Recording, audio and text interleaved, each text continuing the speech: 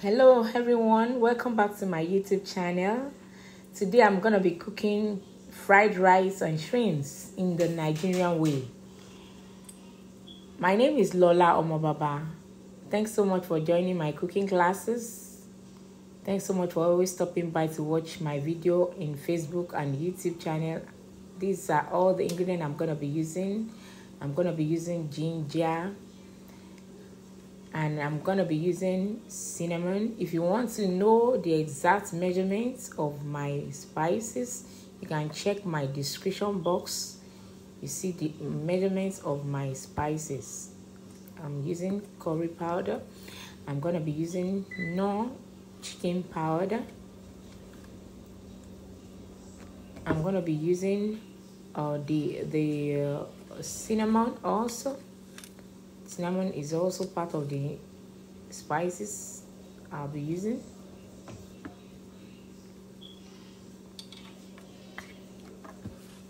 And once you're done putting all your spices you can add any type of your choice. Put your vegetable oil there.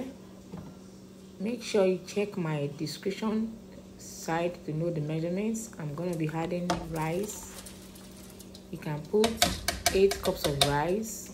You can measure it.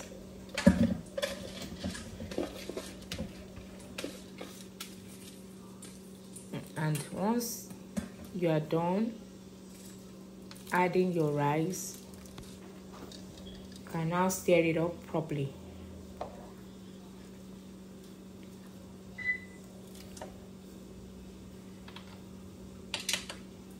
cover it up and let it cook for just 30 to 40 minutes. Now it's done. My fried rice is ready.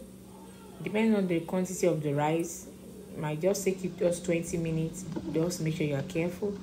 Then you start frying your veggies in a separate frying pan. And once you're done frying your veggies for 10 minutes add your shrimps. Fry your shrimp also for 10 to 15 minutes once you're done, then start adding all your veggies that have shrimps inside your fried rice. Add it little by little. You can see that I'm adding it in a separate side, just half side of the uh, pot. So then stir it properly so that you can mix the veggies uniformly in the fried rice. So add your second portion of your veggies in the other side of the rice in the pot. You can spread them properly.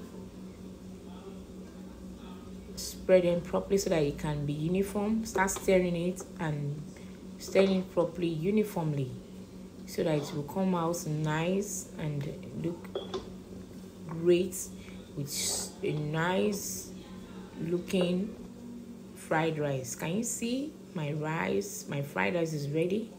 Please subscribe to my channel. Hit the notification bell. Hit the like button. And also anytime i upload my video visit my channel. Once you click the notification bell. Thanks so much for stopping by.